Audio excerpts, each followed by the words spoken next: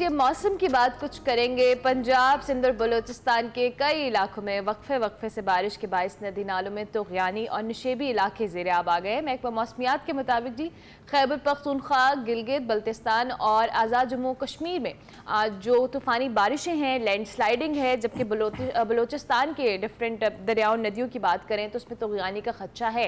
जबकि जनूबी पंजाब और बलोचिस्तान के जो पहाड़ी इलाके हैं, इनमें भी मौसलाधार बारिश जो है उसका खतरा है और नदी नालों में जो कह लें पानी हद से तजावज़ भी कर सकता है।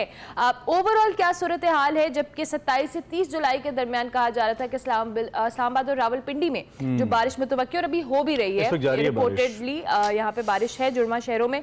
आप क्या सूरत हाल है? जवाद मेमन साहब हमारे साथ मौजूद है उनसे हम बात कर लेते हैं। बहुत शुक्रिया जवाद मेमन साहब के आपने में ज्वाइन किया।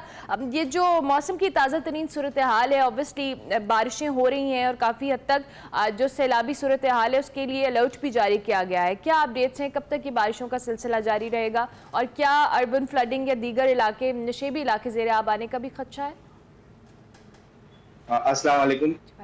जी बिल्कुल ये पंजाब के तकरीबन ही तमाम इलाकों में इस वक्त एक काफ़ी ताकतवर मानसून का स्पेल जो है वो पिछले दो दिन से जारी है और कल रात से कल शाम से जो है इसकी शिद्दत में काफ़ी हद तक इजाफा हुआ है।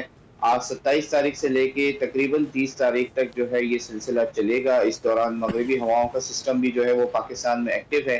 तो इन दोनों सिस्टम्स के जेर असर इन तमाम इलाकों में काफ़ी तेज़ बारिशें रहेंगी। खसूसी तौर पर इस्लामाबाद, रावलपिंडी लाहौर, फैसलाबाद रीजन में एक से दो काफ़ी हैवी रेन के स्पेल हो सकते हैं। जबकि पंजाब के तकरीबन छोटे बड़े शहरों में जो है वो on and off urban flooding का सिचुएशन भी रहेगी जहाँ जहाँ तेज बारिशों का स्पेल रहता है। हम्म, हम्म, हम्म, तो ये अर्बन फ्लडिंग किस हद तक होगी? खतरनाक हद तक है या यूजुअल है काबू करने वाली है?